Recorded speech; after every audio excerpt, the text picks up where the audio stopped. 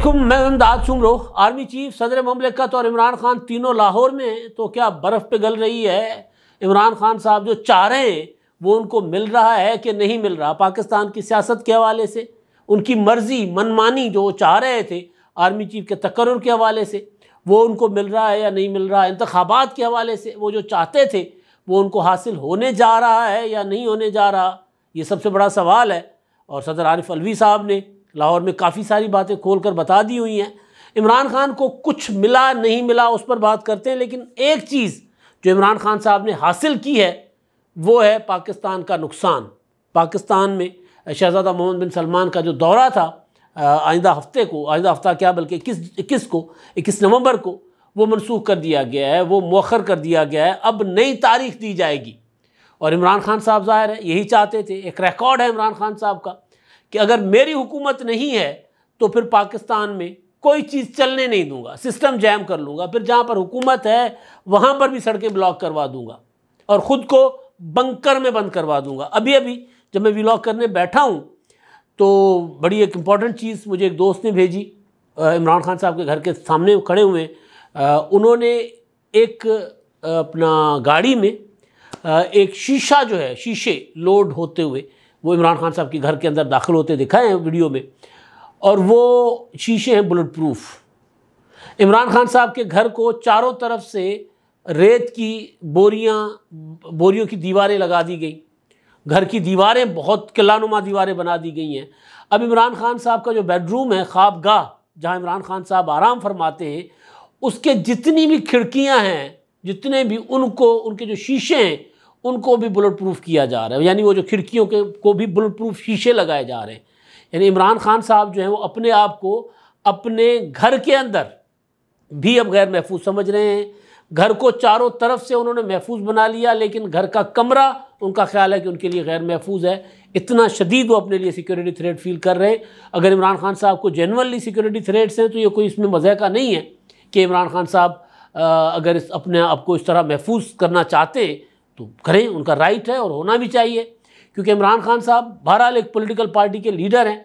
अगर उनको अल्लाह ना करे कुछ होगा या कुछ हुआ होता जिस तरह तीन नवंबर को एक अटैक हुआ था उनके ऊपर तो ज़ाहिर पाकिस्तान को नुकसान होता उसका। बेशक इमरान खान साहब के आ, का कोई यानी कोई होता ना कि सियासी वजूद वो बेशक पाकिस्तान के लिए फ़ायदे में ना हो।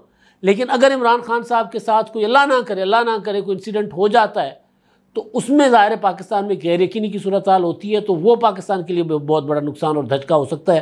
तो लिहाजा, इमरान खान साहब अपने आप को जितना महफूज बनाना चाहते हैं, जितन, जहाँ उनका इतमान हो, हुकूमत वहाँ तक उनकी सिक्योरिटी यकीनी बनाए और मुमकिन बनाए। आज अपना वीडियोस ये भी वायरल हुई हुई है कि के पी के की पुलिस जो है वो इमरान खान साहब के लिए मज़ीद तलब की गई है। इमरान खान साहब के साथ चलती है के पी के की पुलिस उनकी सिक्योरिटी पर मामूर रहती है, चाहे बनी गाला हो, चाहे जमान पार्क हो। लेकिन मज़ीद के पी के पुलिस के जत्थे जो हैं, वो लाहौर तलब की अपना मंगवाए गए हैं। तो बहरहाल तो खान साहब लाहौर में और सदर आरिफ भी लाहौर आ गए। आर्मी चीफ साहब लाहौर में थे। तो लाहौर में दिन भर जो चीज़ें, जो बातें चलती रहीं, वो बड़ी इम्पोर्टेंट थी। वो ये थी कि जी इमरान खान साहब की वजह से ये सारा, यानी इमरान खान साहब मरकज़ हैं, इमरान खान साहब एक फूल हैं और ये सारे भंवरे हैं जो उनके ऊपर मंडला रहे हैं। तो खान साहब के ऊपर भंवरे बनकर आर्मी चीफ साहब भी पहुँच गए। सदर आरिफ अलवी साहब तो कहते हैं कि जी इमरान मेरे लीडर हैं, मेरे दोस्त हैं, मेरे कायद हैं तो वो तो चलें, उनका तो आना समझ में आता था, लेकिन आरिफ, आर्मी चीफ जिनको न्यूट्रल, मीर जाफ़र, मीर सादिक, वो पता नहीं क्या क्या कह रहे थे। उनकी लाहौर आमद के बाद जो ख़बरें गर्दिश करने लग गई, वो कमाल थी कि जी इमरान खान साहब को तारीख लिख कर देने आए हैं इंतबात की। वो चाहते हैं कि इमरान खान साहब जो हैं, वो जो चाह रहे हैं, अब इमरान खान साहब का प्रेशर मज़ीद बर्दाश्त नहीं हो रहा। वो प्रेशर कुकर बन चुका हुआ है। तो लिहाजा इमरान खान साहब को इंतबात की तारीख भी दे दो और उनको सफ़ेद कागज़ दे दो, ताकि वो कोरा कागज़ तो कोरे कागज़ के ऊपर इमरान खान साहब अपनी मर्ज़ी से लिखें कि जी आर्मी चीफ़ किसको बनाना है। तो ये इसके लिए, और फिर सदर ममलिकत आरिफ अलवी साहब, क्योंकि कोशिशें करते रहे, इमरान खान साहब के साथ दो तो रजिस्टर मुलाकातें वो आर्मी चीफ की करवा चुके हुए हैं तो ये भी इमरान खान साहब की मुलाकात करवाने के लिए वो लाहौर पहुँचे हुए थे। तो लिहाजा आर्मी चीफ की उन्होंने मुलाकात करवा दी और इमरान खान साहब की मर्ज़ी पूछी कि जी बता बता भाई, क्या चाहिए आपको? जो कहेंगे, जो हुक्म मेरे आका, हम कर देते हैं। ये सारी खबरें थी। अब हुआ ये है कि सदर ममलिकत की बातें। इमरान खान साहब का आज जो ख़िताब उन्होंने किया है, मैं चंद हज़ार लोगों का लॉन्ग मार्च इमरान खान साहब ने शुरू किया था। इमरान खान साहब के ऊपर एक ज़ाहिर बदकस्मत अटैक अटैक हुआ, एक अफसोसनाक हादसा हुआ वज़ीराबाद में, हमला हुआ। उसके बाद इमरान खान साहब वापस आए, इमरान खान साहब ने कहा, शाह कुरैशी लीड करेंगे और असद उमर लीड करेंगे फैसलाबाद रीजन से। तो इमरान खान साहब के साथ चंद हज़ार लोग थे। और जब ग्यारह दस को, दस तारीख को जब लॉन्ग मार्च दोबारा शुरू कर दिया गया महमूद कुरैशी की क़्यादत में वज़ीराबाद से, वही अलावाला चौक से तो चंद सौ लोग थे महमूद कुरैशी साहब के साथ। गुजरात में भी इसी तरह ही था। अब आज जो मनाजिर हैं, उनको चंद दर्जन कहा जा सकता है। तो इमरान खान साहब की तहरीक, जिनके लिए सारा दिन लाहौर में ये ख़बरें चलती रहीं, कि जी इमरान खान साहब का प्रेशर काम आ गया, आर्मी चीफ साहब ने कहा कि यार मैं रिटायरमेंट से पहले इमरान खान साहब का तो मसला हल करके जाऊँ, वरना इमरान खान साहब जो है वो मेरे आने वाले वालों के लिए बहुत परेशानी करेंगे। तो मैं जाकर उनका मसला हल करूँ। तो भाई प्रेशर कहाँ? चंद हज़ार से चंद सौ और चंद सौ से चंद दर्जन तक रह गई पूरी की पूरी तहरीक। और तहरीक में भी अब ये जान रही कि इमरान खान साहब वो जो ख़िताब जो उन्होंने किया, आज वो जो अपना उधर बैठ कर बनी अपना जमान पार्क के बंकर से इमरान खान साहब का जो ख़िताब था, उस खिताब में उन्होंने हाथ खड़े कर दिए। उन्होंने कह दिया कि जी, मैं अपनी मर्ज़ी का आर्मी चीफ नहीं चाहता। मैं आर्मी चीफ का तकर्र मुतनाज़ा नहीं बनाना चाहता। कल इमरान खान साहब ने कहा था कि जी, ये नवाज़ शरीफ उसको आर्मी चीफ लगाना चाहते हैं जो इनके जराइम पर पर्दा डाले, जो इनको, इनकी चोरियों में इनका साथ दे। यानी एक जर्नैल, अगर आप मुतनाज़ा नहीं बनाना चाहते तो इसका बात का मतलब क्या है? और मेरिटोक्रेसी तो मेरिटोक्रेसी की तो खबर हमने पहले ही दे दी हुई है। काफ़ी दिन पहले कि नवाज़ शरीफ साहब ने जो मुशावरत उनकी हुई है वहाँ पर लंदन में, शरीफ फैमिली के अंदर हुक्मरान फैमिली है भाई, उनकी पार्टी हुकूमत में है। और शहबाज शरीफ साहब ज़ाहिर है नवाज़ शरीफ की मर्ज़ी के बगैर तो नहीं करेंगे ना। तो उनसे उन्होंने मुशावरत की। तो मुशावरत में जो कुल बात निकल कर सामने आई निखर कर सामने आई, वो ये थी कि नवाज़ शरीफ साहब ने कहा कि जी मैंने, इस बार हमने मेरिट पर जाना है। मेरिट का मतलब क्या है? Senior most. भाई, अगर पाँच जर्नल्स क्वालिफाई करते हैं आर्मी चीफ बनने के लिए, या छः या सात, जो सर फहरिस्त होते हैं सीनियरिटी में, अगर वो क्वालिफाई करते हैं तो जब वो क्वालिफाई करते हैं तो उनमें से मेरिट तो ये बनता है कि उनमें से सीनियर मोस्ट जो होगा, वो लगाया जाएगा। उनको उनका नोटिफिकेशन होगा। तो अब खबरें आ रही हैं लंदन से, परसों से, जब से वज़ी अजम साहब गए तब से कि जी सीनियर मोस्ट जो होगा, वो आर्मी चीफ होगा। अब इमरान खान साहब कह रहे हैं कि जी, मैं तो मुतनाज़ा नहीं बनाना चाहता, मैं चाहता हूँ कि मेरिट पर हो। तो भाई, इससे बड़ा मेरिट और क्या होगा? अगर नवाज़ शरीफ ने ये कह दिया कि जो खबरें आ रही हैं कि जी अपना सीनियर मोस्ट को करें आर्मी चीफ लगाएँ और कोई पसंद, नापसंद की तरफ़ ना जाएँ पिक एंड चूज़ की तरफ़ ना जाएँ सीनियर मोस्ट को लगा दें तो इससे बड़ा मेरिट क्या होगा? तो फिर जिनको वज़ी अजम शहबाज शरीफ साहब, नवाज़ शरीफ के मशवरे पर लगाना चाह रहे हैं, वो सीनियर मोस्ट भी हैं। मगर इमरान खान साहब कहते हैं, वो इनका चोरियों में साथ देंगे, या इनको कम अज़ कम इनको महफूज रखेंगे मुकदमात से। तो अवल बात यह है कि भी आर्मी चीफ का ये काम ही नहीं है किसी की चोरी पकड़ना, ना पकड़ना। उसके लिए पार्लियामेंट है, उसके लिए एहतसाब के अदारे हैं, उसके लिए अदालतें मौजूद हैं, खुली हैं, वहाँ पर जाकर करें। ये ये अव्वल तो ये जो सोचना, लोगों को गुमराह करना, लोगों को उल्लू बनाना, लोगों को बेवकूफ़ बनाना मतलब ये ये जो है ना इमरान खान साहब का तरीका एक वारदात बड़ी सी कर देते हैं उसके बाद कहते हैं कि जी, अब ये बड़ी वारदात है कौम के साथ। कौम के दिमाग में ये बिठाना कि आर्मी चीफ का काम है एहतसाब करना। या आर्मी चीफ जो है, कमर जावेद बाजवा साहब करप्शन को बुरा नहीं समझते थे, मैं एहतसाब कर रहा था, मुझे रोकते थे। तो भाई आर्मी चीफ का काम ही नहीं था ये।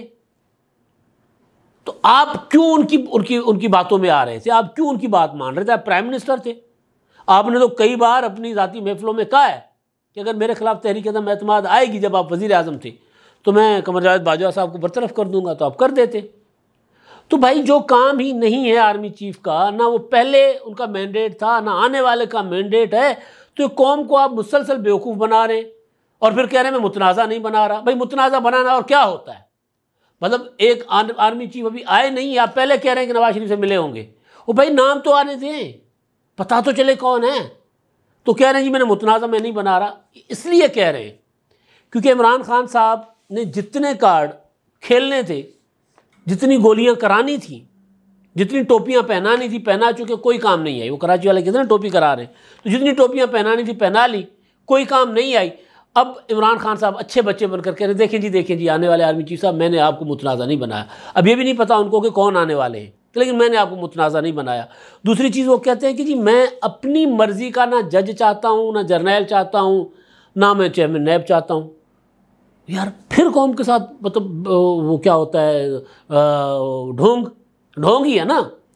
आपने चेयरमैन नैब को हटाने नहीं दिया, वीडियो के ज़रिए उनको कंट्रोल करते रहे। आपने army chief general Qamar Javed Bajwa साहब को एक्सटेंशन दी। तो अपनी मर्ज़ी का आर्मी चीफ और क्या होता है? मतलब आपने आने अच्छा उसके बाद आप D G I S I हटाने नहीं दे रहे थे, कि D G I S I को आप कह रहे थे कि नहीं जी, यही रहेंगे। तो बहरहाल तो अब यह है कि इमरान खान साहब ने बात की अब ये बात इमरान खान साहब की ले लें।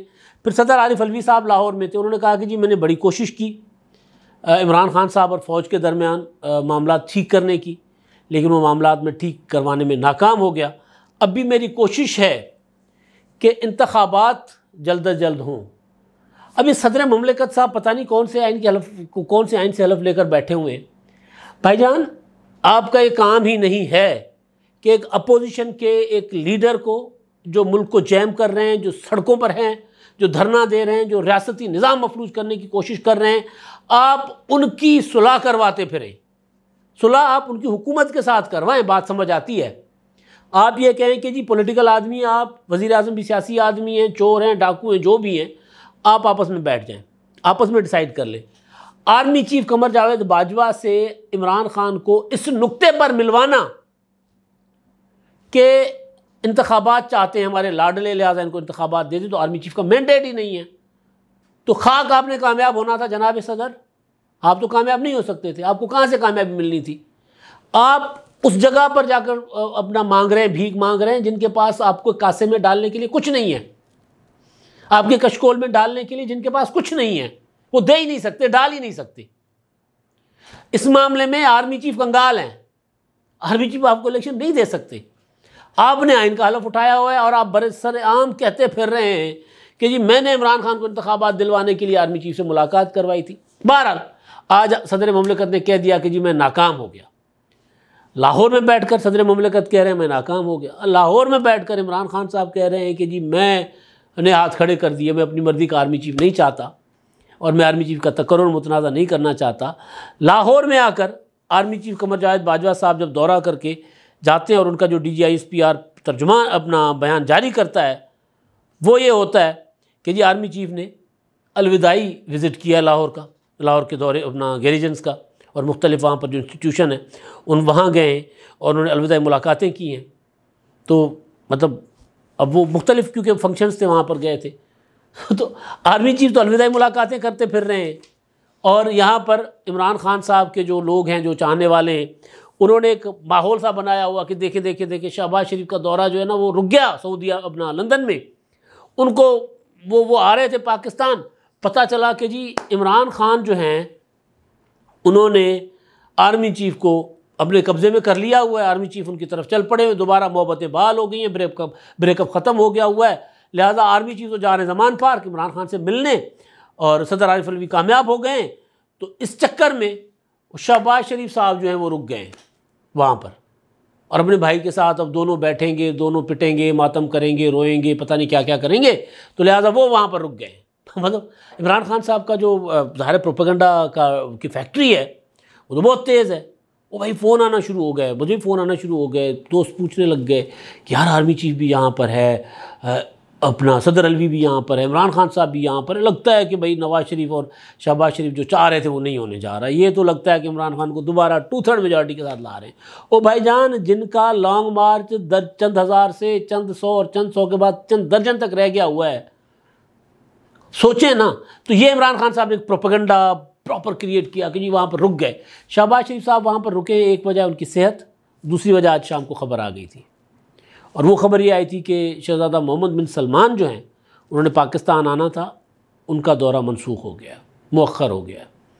और वजह वजह पाकिस्तान में ये जो अफरा तफरी की सूरत हाल इमरान खान साहब का सड़क पे ये जो लॉन्ग मार्च है, ये चल रहा है। और ज़ाहिर है, यहाँ के उनके सफारत खाने ने, उनकी जो एजेंसियाँ हैं, उन्होंने उनको रिपोर्ट किया होगा कि जी पाकिस्तान में आप ऐसा करें कि फ़िलहाल ना जाएँ, इस मुल्क में आर्मी चीफ के तकर्र होने दें। आर्मी चीफ के तकर्र के बाद आप आ जाइएगा, मामला सेटल हो जाएँगे। तो फिर आइएगा। अभी तो ज़रा इस्लामाबाद की तरफ़ आने वाले रास्ते भी बंद हैं, पता नहीं क्या चल रहा है यहाँ पे। तो ये ख़ुद ही अपना मेंटली ऑक्यूपाइड है, पाकिस्तान की हुकूमत। तो लिहाजा अभी आप ज़रा दौरा मनसूख कर दें। तो इस तरह की चीज़ गई तो उन्होंने दौरा मनसूख कर दिया।